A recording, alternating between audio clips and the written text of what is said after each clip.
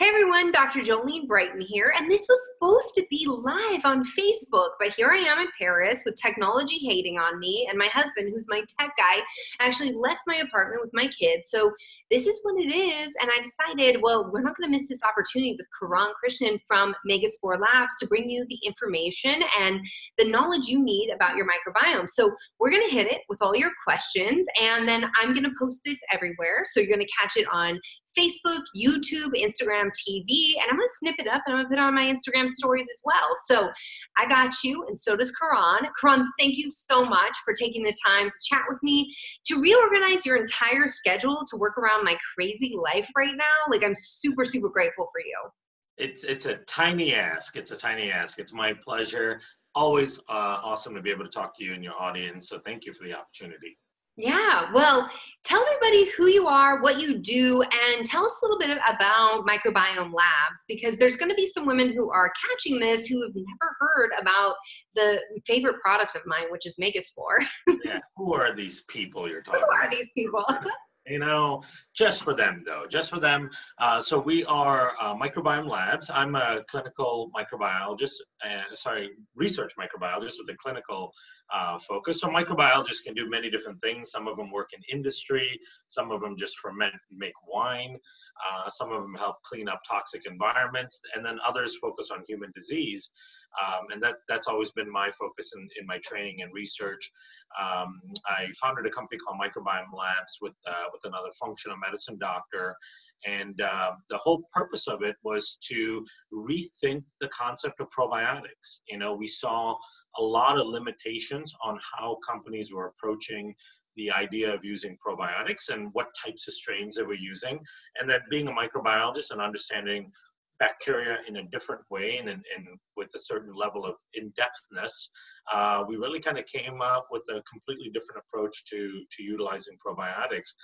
And our whole goal was to provide people like yourself, like uh, Dr. Brighten, the right tools to go out there and change the lives that you're impacting. So um, we've been doing that for the last six years, five and a half, six years now.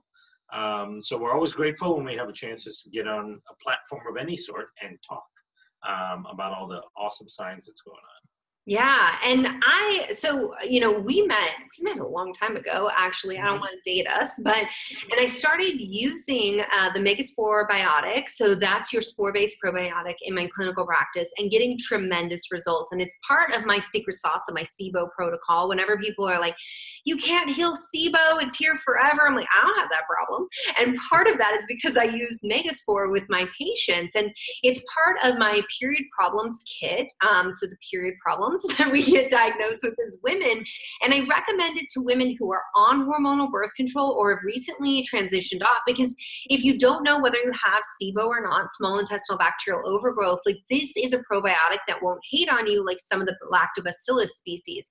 Let's talk a little bit about that. Now, guys, we're going to get into what is SIBO and a little bit more about testing, but why is it that the Megaspore biotic, it doesn't affect the gut in the same way that the lactobacillus strains do when women have SIBO? Yeah, um, so that's a really important question. So, and we looked at that actually right off the bat when we were when we were developing the product because um, the awareness on SIBO and, and the the diagnostic capability of SIBO was getting improving quite a bit around that time. And so, um, in general, the lactobacillus strains.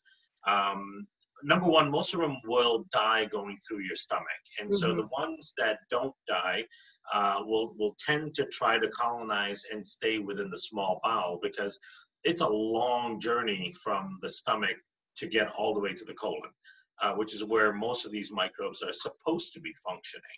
Um, and if they end up staying in the small bowel because it's hard for them to make it through that journey, they can cause further fermentive and other uh, dysbiotic-like symptoms within the small bowel itself, which is really what is happening in the in the case of SIBO. You've got too many of the wrong type of bacteria in that small bowel place. The good um, guys in the wrong place. in the wrong place, yeah, exactly. You know, and that that occurs all over the gut with many different conditions. Colorectal cancer is really the same good guys. They are a couple millimeters down in the wrong part of the mucosal tissue.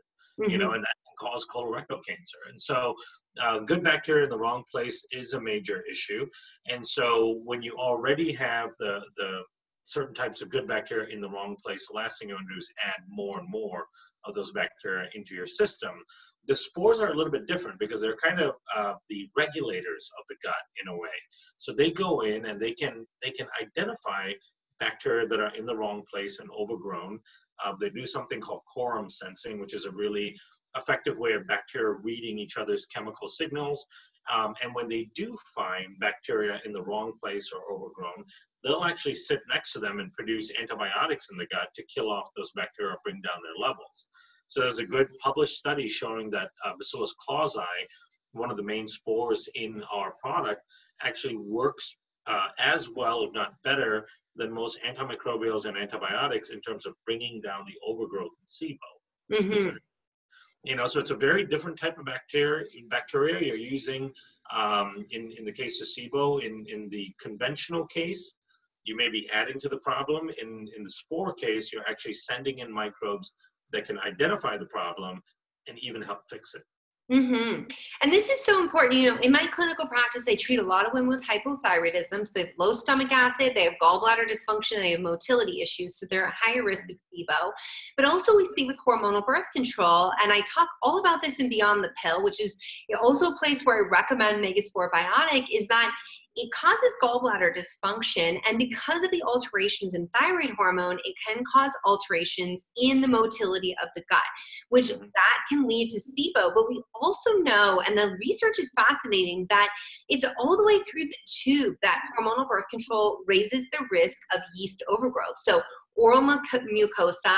We see it in the gut. It can be part of SIBO or SIFO, small intestinal fungal overgrowth. And then we see candida also in the large intestine and in the vagina as well. And so, you know, to me as a clinician, as a naturopathic physician who looks at, okay, well, what is the ecology, what's going on right now?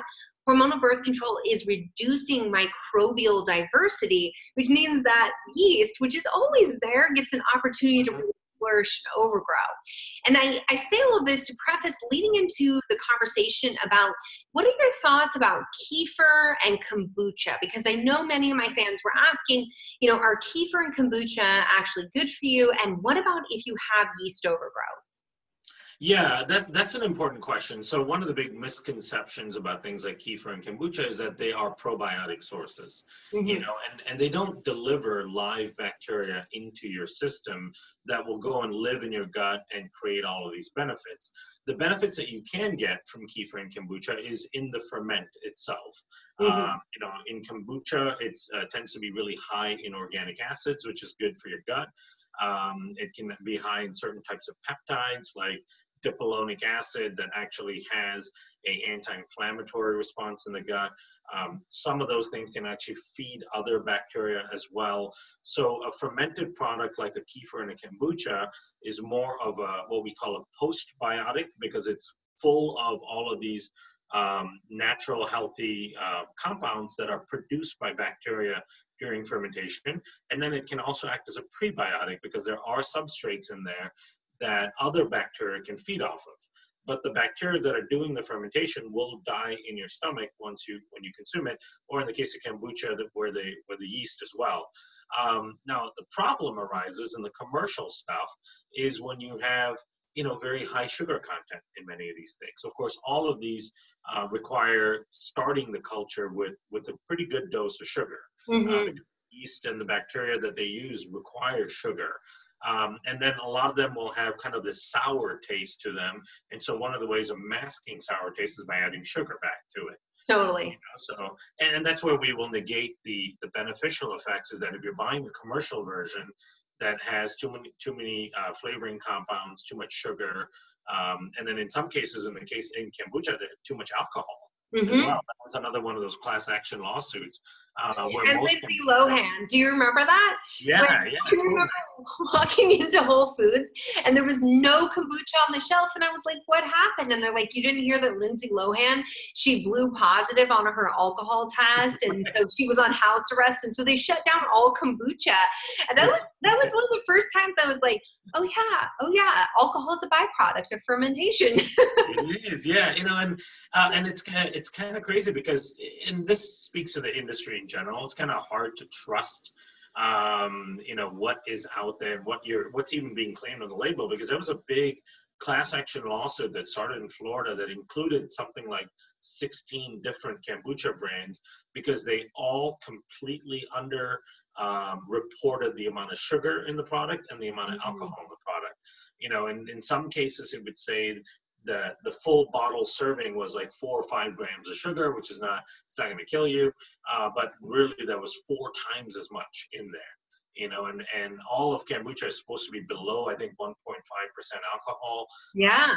but many of them had four, five, six percent. You know, that's almost like a beer. Yeah. And so Well, now Um, there's those um, kombucha beers you can get that are five to six percent alcohol. exactly, yeah. If you're if you're gonna do it for the alcohol, just get the alcohol then. you Yeah. know, um, yeah, and so so the, the commercial versions of the product, it's there's there's always a give and take, uh, whether what you're actually consuming is what what is on the label and what's claimed in the product. So I wouldn't lean on those as your gut health tools, you Mhm. know. And of course, you can you can make your own kombucha and kefir at home. That's another good way of kind of playing around with things, and um, and you'll likely make a healthier product than what you can find at the store. Yeah. Uh, but but a lot of people just say, "Oh no, my gut is fine. I drink kombucha." Um, you can't do that. You can't. It's not. It's not. Doesn't have that therapeutic clinical value to it. Totally. Now, when it comes to SIBO testing, small intestinal bacterial overgrowth, I, I promised you guys we would get there. Mm-hmm. So there is a lot of debate right now versus lactulose, glucose, or is any of that worthwhile actually testing? I'd love to hear because, you know, clinicians are debating this right now, researchers are debating this, but you're a microbiologist, and I'd love to hear from you. What are your thoughts right now about testing? Yeah, so we've actually been looking into that quite a bit because I've been I've been trying to design a SIBO study for two years now. And the and the reason why we've had a hard time and, and we design and do a lot of complicated studies, the, the problem with the SIBO is the diagnostic, right? Mhm. So um, if we're going to do a study, we need a very accurate diagnostic to to add as your inclusion criteria, meaning we know all the people we're including into the study have positive SIBO.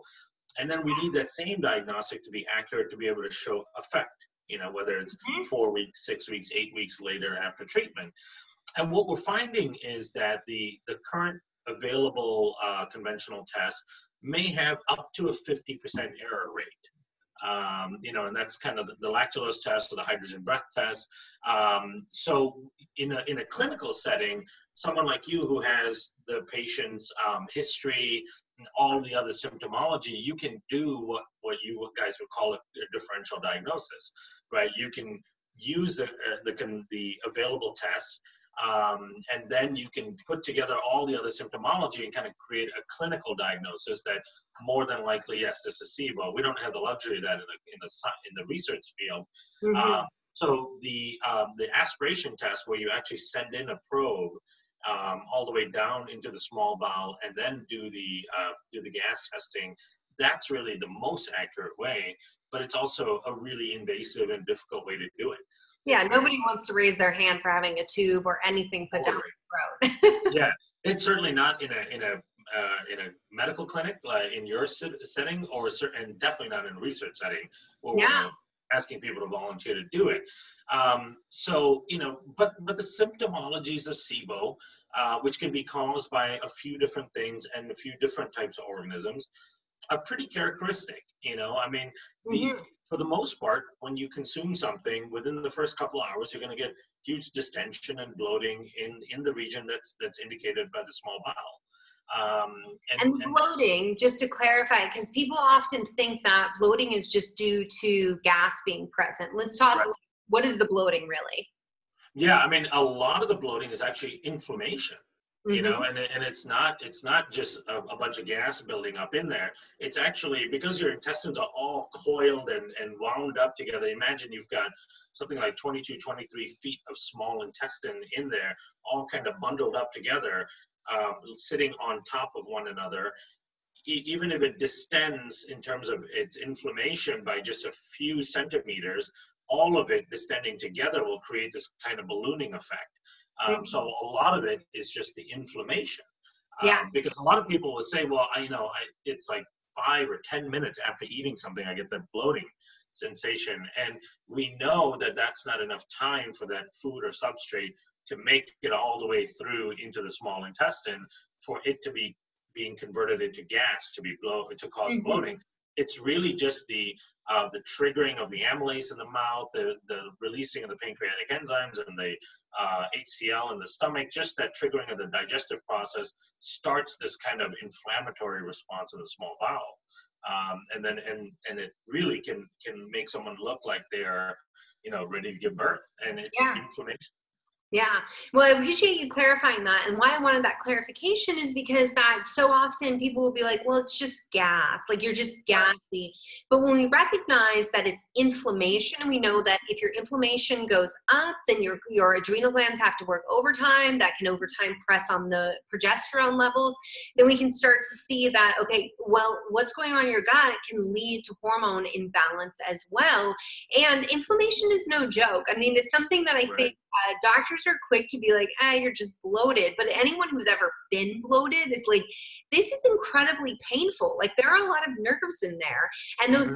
nerves are corresponding with the brain, which can lead to neurological issues. And sometimes, you know, I've seen women who, like, at the root of their anxiety is actually gut dysfunction overall. Oh yeah, absolutely. And and it's important to note that inflammation negates absorption. So mm-hmm. while your small bowel is inflamed, it's not going to be able to absorb all the nutrients and uh, all the things that you're trying to get out of your food and supplements that you're taking in. Um, and we also know that uh, inflammation in the bowel causes systemic low-grade inflammation. Mm-hmm. Uh, same kind of low-grade inflammation that, that sets up the pathology for disease. You know, and, and um, I, I do explain to people sometimes, like, imagine if every time you drank something or ate something, your left arm swells up to two and a half times its size, right? Yeah. uh, that's not something you would ignore or go, oh well, it's just it's just swelling. You know, you you would be in the doctor's office immediately going, what in the world's going on with my left arm? Um, every time I eat food, and that's well, and your doctor would pay attention, and that's the important thing. Totally, yeah. Is especially in women's medicine. So we know that anything internal is easy to dismiss by us and by our clinicians, but the gut gets dis- guts gut gets dismissed, mood symptoms get dismissed, heart attacks get dismissed in women at a much higher rate, but also anything going on in the reproductive tract. So I really appreciate you saying that because if your left arm, the small left arm uh, for you guys, was swollen, your doctor would be like, that's a problem. But just because yeah. you see it, you know, what you feel in your your experience is very much real. Yeah. Absolutely, and and and gas becomes the uh, the usual suspect of everything, you know, and mm-hmm. um, it, it's it's not, and certainly if it's if it's happening within the first within the first hour, hour and a half after eating, then it's likely not gas because that's not enough time for the food that you're eating to clear through the stomach mm-hmm. and, and the upper part of the GI to get to uh, the areas of the small intestine where there is overgrowth to be fermented and then gas to be produced. Uh, because people with severe SIBO tell me all the time it could be 10 minutes after they're eating. Yeah. You know, and, and they get bloated. And I'm like, well, it's not the food going in and getting fermented into gas. That's inflammation. Mm-hmm. Now, what do you say? There are clinicians right now. I mean, this is no surprise because this is like anything that's new in medicine. And by new, I mean 10 to 15 years of research let that open your eyes that like research right. out there for 15 years and people are still like that's new that's not real. There are clinicians out there right now saying that SIBO is not real. Now as somebody who's had SIBO i'm like say that's not real to me again. Um, because it was real.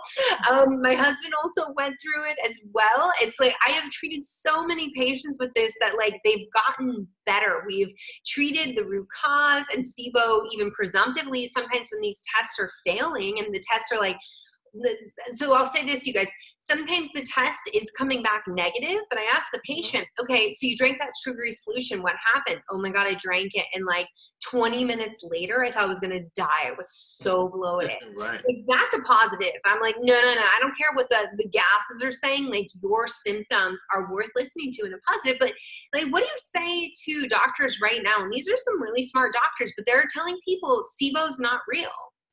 Yeah, and I, I think a lot of that comes out of the frustration of not being able to deal with with deal with the uh, the condition itself, right? Mm-hmm. Um, it, it's like the medical, the mainstream medical community has said leaky gut is not real for like 25 years now you know, and finally even I try not to laugh, but it's like right? seriously, you guys, like this is the same this is the same dogma that told us our appendix wasn't worth anything. Right. Yeah. There needs to be a whole lot hum- more humility in medicine. Like I, I frame it to my women all the time of like, remember, these same people who are telling you this isn't real also thought the uterus used to wander the body and like that caused hysteria in women. Like we have to recognize we just we're not that smart. We don't know that much yet. It's why it's practicing medicine. totally yeah it's it's and it's learning every day and uh, the the big problem is you know unless you have a handle on what is causing it what is the um, outcome of it and how you treat it a lot of times it becomes easier to deny it mm-hmm. you know and, and and that's really like mainstream medicine could not understand how in the world the gut would become the intestines would become leaky yeah you know, and, and it may be just the description of the word leaky gut um, they're they're closing their eyes and imagining themselves in medical school. And uh, nobody told me at any point in medical school you could end up with holes in your intestinal lining.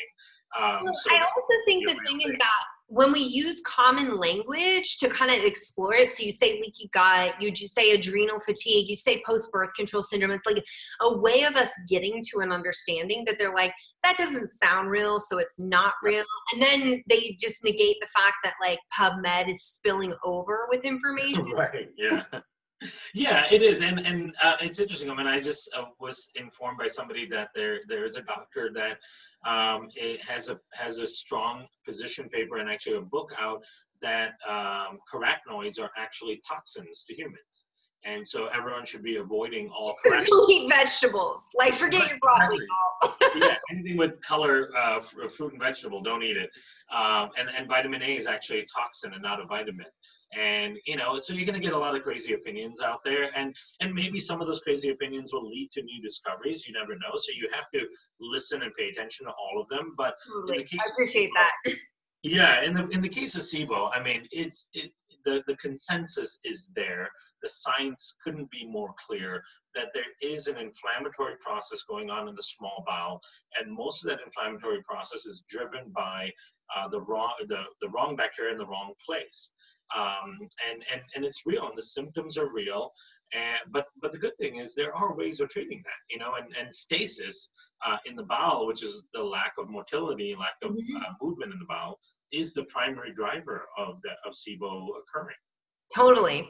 It's getting really dark because I'm in a totally different time zone. So I'm gonna move. Oh, that's right. You're in the evening there. I know. I'm gonna move with you, uh, so people can still see my face. Um, they can also see maybe the Eiffel Tower. There it is. There it is. So I want to talk about parasites though, because there was a lot of women who wrote in and they were like, I think I have parasites. What role does parasites play, and what, what do you actually do about that? And I'd love to hear your perspective of like, okay, so what's up with parasites? Why do we get parasites in the first place? Are they terrible? And what's your, just what's your opinion? Yeah, you know, uh, and, and unfortunately, parasites have been slapped with this scientific uh, term that is not very favorable. Mm-hmm. Um, you know, and more and more we, as we come to understand what's going on in this really complex ecology in the gut, we start to realize that parasites, even though the, the definition uh, denotes that they're just sucking the life out of you and not providing any benefit, actually have a symbiotic benefit in the gut. Mm-hmm. Uh, in fact, where you are in Paris and other parts of Europe, they will use helminth and other type of parasite therapy to improve immune function. Yeah, people are actually recommending that for my kid right now. They're like, maybe you yeah. should be a parasite. I'm like, mm-hmm. I'm a scientist. First, let me test and figure out right. what's going on before I jump on with a parasite. exactly, and, and it's a, it's again, it's a, a new reframing. Um, you know, the gut is loaded with parasites naturally. That's a mm-hmm. perfectly normal condition to be. Um, typically, if you go overseas, you're in the Amazon, you're in some other places that's not native to your gut, and you pick up a parasite there, it can certainly cause a significant problem because that's not native to your gut, right? Mm-hmm. It's no different than uh, if you have a garden in a certain climate, certain region, and then you bring in kind of an invading species of plant that can kind of take over. Um, but your gut, everybody's gut has normal has parasites in it. It's a normal condition, and in fact, the parasites do produce some beneficial effect. Um, unless there's real severe clinical symptomology associated with the parasitic inf- uh, infection, there's no real reason to go after it. Okay, so in terms of parasites, let's differentiate. Like, what are the bad parasites that, like, if you if you find out you have this parasite, like a couple of the normal ones that, like, okay, definitely talk to your doctor. Don't just ignore that. Yeah, well, so the, one of the biggest symptomologies that you'll find with with uh, problematic parasitic in, infection is weight issues. Mm-hmm. So, um, like you know, actually, the inability to gain weight, mm-hmm. um, and parasites that that cause um, metabolic distress are are the the most common kind.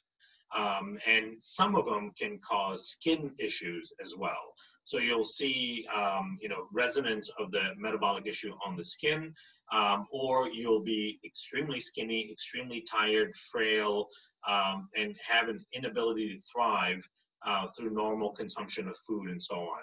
If you're if you're showing those types of symptoms, it's it's worth going to the doctor and getting a, a parasitology test. Mm-hmm. Uh, I remember, uh, you know, my wife broke out in in hives out of the blue, and uh, that was one of the first things I had them test was to do a parasitology test because that's kind of the the the types of common symptoms that an overgrown parasite can cause.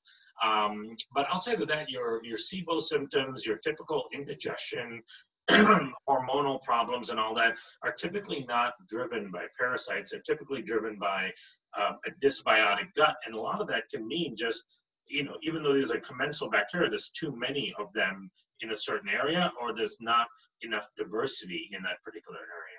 Yeah, and whenever I see hives, like it, what get called idiopathic hives, which idiopathic is like they don't know. Mm-hmm. It is if it is not Hashimoto's, it is almost bla- always Blastocystis hominis, and that's something that's really controversial in conventional medicine. Well, they'll be like, Blastocystis should just be there, and it's like, well, maybe, but yeah. if they are having symptoms, then we got to do something about it. And I, you know, you know, I'm not a like go in. I think of um like a Predator when uh, Arnold Schwarzenegger just like tears down the entire forest. That is not. Right. I'm like, you don't need to cut down the entire forest to look for that one organism, but instead you need to look at like how do we reset the entire terrain? Because in in an ideal gut like your gut should be able to handle it. Now another question that we had was about l-glutamine and is that yeah. really beneficial in restoring gut health yeah, so L-glutamine is a is a tool, and um, it can't work by itself. You actually need the right type of microbial population to utilize it to fix your gut. Mm-hmm. Um, so there's this misconception that L-glutamine is this magical compound that'll go in and then somehow start repairing your gut lining by itself. It's not. It's no different than a wrench to a broken car. You know, you can't just throw a wrench at a broken car and expect it to fix the car. You need an intelligent mechanic there. Yeah. And in the case of your gut, most of the fixing occurs uh, by function of bacteria. So unless you have uh, an established, uh, good, healthy, established microbiome, throwing in all the L-glutamine you want is not going to do it. Um, then also, if, if, your if your bacteria is not there to utilize the L-glutamine in the proper way, you can actually start throwing off other biochemical responses mm-hmm. in your body, and that's why a lot of people have a negative reaction to, to the presence of L-glutamine. Totally. You know, you're right, because it has to be converted in, uh, biochemically, uh, I believe, into glutamate and then utilized in several different pathways. And if it's not doing that, it can cause all kinds of other symptomology um, in the people because you end up absorbing too much of it and not utilizing it properly.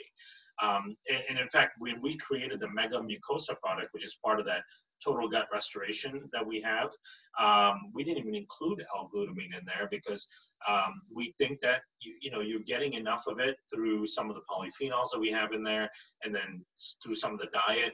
But it seems like the, some of the more important uh, building blocks of the mucosa and the tight junctions are found in citrus polyphenols and are found in um, in amine, certain amino acids. And um, and again, but we don't introduce that until we fix the gut bacteria. Mm-hmm. So once you get a diverse, healthy microbiome with high levels of protective keystone strains, which are these really important gut commensals that we all have naturally in our gut, but in most Western guts, it tends to be they tend to be at really low levels. So we want to bring those guys up because they're the ones that are going to be doing the fixing when you provide them the tools. Love it. So that leads into my last question that I had for you, which is like, what are three things that people can do right now to increase their microbial diversity? And you guys know I'm a big fan of the Megaspore Biotics, so that would be on my list, but I bet you have other things to share. Yeah, absolutely. So, um, uh, two, one really simple thing. The other one is probably a, um, a thing that wouldn't people wouldn't guess.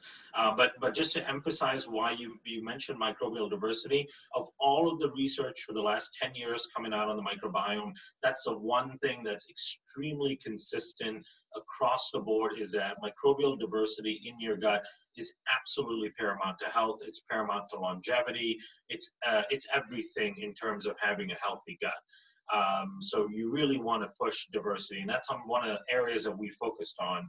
Um, and so we just submitted a paper for publication about a month ago um, that shows that when you add the spores in, we're increasing diversity by almost 50% in as little as uh, three weeks. That's how long the study was, a three-week study, right? And diversity is important to, to note that it's measured by um, the richness in, of the population, so mm-hmm. how many different bacteria are there, but then also the, the uniformity of the population. So there's two factors that are multiplied together to give you something called a diversity index. Um, because you could have a rich uh, bacterial population, which means you have lots of different microbes, but if the uniformity is off, meaning even though you have lots of microbes, like four of them are really predominant, you still have a low diverse gut because you're, you're those four are causing, uh, are taking over most of the metabolic function. And most often, even if those are good bacteria, they can lead to issues, like in the case of parasitic infections or candida overgrowth and so on. Um, so having that richness and uniformity denotes real good healthy diversity. The spores, as you mentioned in Megaspore, increase that by almost 50% in as little as uh, three weeks. The Which is two- why, if you're on hormonal birth control, you have got to be taking a quality spore-based probiotic, which is what the you know the Megaspore biotic is, and why I recommend it because there was a study that showed that hormonal birth control is like being on an antibiotic in terms of how it reduces microbial diversity. But hold up, who's on an antibiotic for 10 years at a time? Right.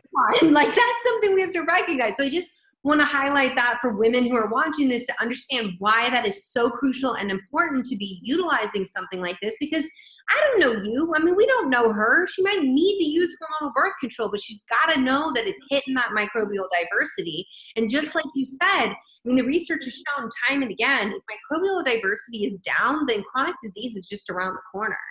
It is. It's way up. I mean, the ability to uh, the the protective ability of a diverse microbiome against chronic illness has been extremely well established, and mm-hmm. it's there's a direct inverse correlation. Meaning, diversity is high, risk for chronic illness, all forms of chronic illness. We're talking about immune dysfunctions, metabolic dysfunctions, you know, inflammatory conditions, things associated with like cancer and so on all of that stuff is down when diversity is up.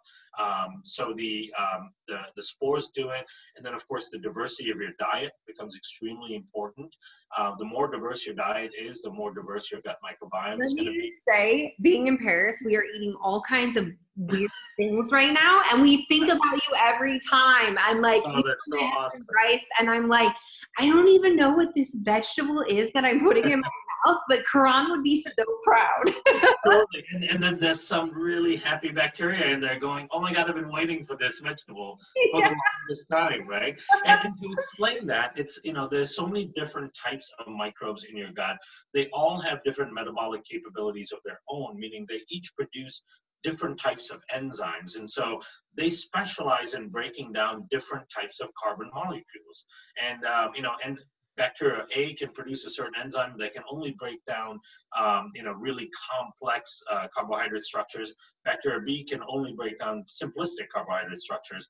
And so when you give your gut bacteria a variety of carbon sources, a variety of uh, substrates to metabolize, then you increase the diversity in your gut quite dramatically. And then the, the third tip, which is actually kind of counterintuitive, is actually not feeding your microbiome increases diversity, mm-hmm. which is allowing yourself a period of fasting on a regular basis. I I prefer the 14 to 16 hour uh, fast almost daily. Um, and during the fasting period, there are certain microbes that do really well, and they only do well when you're fasting. And so if you're constantly in a fed state, meaning you barely go seven, eight hours without eating something, um, then you're never going to allow those bacteria to start to thrive and, and bring their levels up compared to the rest of the population. So, um, you know, eating diverse when you are eating, but then also giving yourself time to fast and time for your microbiome to reset and time for some of those other microbes to do well when you're not putting food and other substances in your in your gut. I love this. This has been super helpful. I'm so grateful for all the knowledge that you share and the fact that you do the research, you create the products, you give solutions. I love people who are like, here's a problem and I got a solution for you. For women who are wanting to find out more about you, get in on all this goodness, where can they find you? Where can they learn more about this? Um, so, uh, you know, throw my name in Facebook and, and friend me. I don't have a professional page. I, you guys are all uh, much smarter than I am on on that front. so I've always used I my people who help me. I know I need to do that. Uh, so friend me on Facebook. I do post a lot of the stuff that uh, places I'm speaking, things I'm doing, interviews, and all that on there. Um, if you go on YouTube and put my name in, uh, Kiran Krishnan, um, and especially if you put my name in microbiome, you'll mm-hmm. find hundreds and hundreds of videos, a lot of these kind of fun interviews that I've been able to do. Um, and then, of course, go to our website, microbiomelabs.com. There's a blog and a lot of information on there as well. So uh, it's never ending the amount of stuff we're putting out. Um, we're very focused on the education and getting this, this information out to people. And you're on Instagram, and I just want to take a minute to show. Can you guys see the spark? Oh, is it lit up? Look at that. Oh wow, that's so cool. that's so cool. Um, I was like, oh, it's sparkly, and I'm totally one of those people. It's like it's sparkly. So you guys, uh, Kiran is also on Instagram. You guys know I hang out on Instagram a ton. I might as well talk with this behind me. It's prettier. Yeah, that's awesome. Uh, so definitely check him out. We will put links. We'll put links to Kiran. We'll put links to the Megaspore, uh, to the mucosal product that we talked about, and all of that to make sure that you guys get the resources you need. Thank you again so much for being here with me tonight. My pleasure. And I mean, look at the background. That's gorgeous. Um, you know, and so you you you're did it do that every night? Kills the show. It does this every night. I don't know. I just moved in yesterday, so I don't know if it's gonna keep going. But like Christmas in Paris is off the chain here. They like take it oh, super yeah. serious. oh my god, yeah, of course. And it's always my pleasure to join you. Thank you for the opportunity. Um, and I know, um, you know, we've had to work through some of the scheduling with all this stuff, but it's always my pleasure to be able to um, have this opportunity to you and your audience. So I so appreciate it. Thank you.